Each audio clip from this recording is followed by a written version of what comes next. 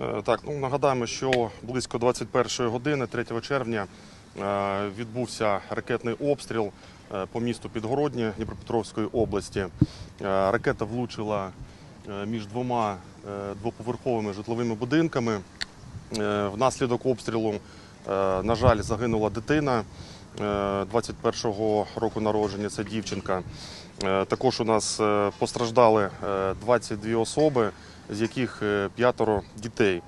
Е, Нашими, нашими підрозділами ДСНС е, було е, дістали з під завалів е, четверо людей. Е, Це троє чоловіків та е, одна жінка. Е, Всі були госпіталізовані е, до медзакладів.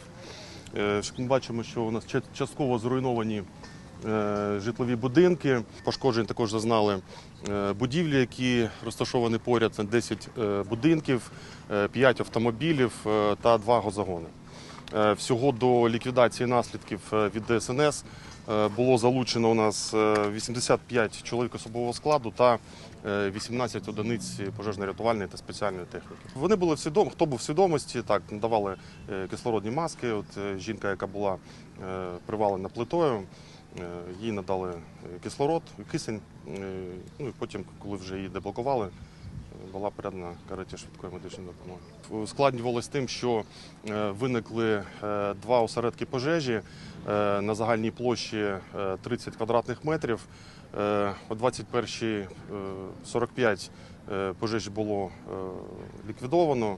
І вже рятувальники приступили до пошуково-рятувальних робіт. О третій е, ночі була завершена е, пошуково-рятувальна операція. Тобто у дв- е, другій 45 знайшли тіло дівчинки, у третій операцію було завершено. Зараз працюють комунальні служби,